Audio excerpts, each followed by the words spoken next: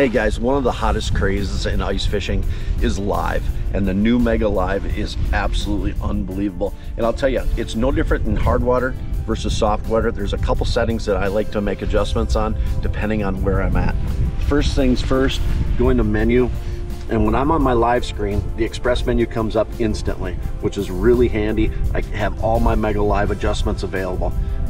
Today we're out on Mille Lacs where it's absolutely crystal clear so I can run my sensitivity all the way up. If you get on a body of water that has a lot of zooplankton, algae, things like that, or you're in the thick weeds, you might need to adjust your sensitivity down to get the best view.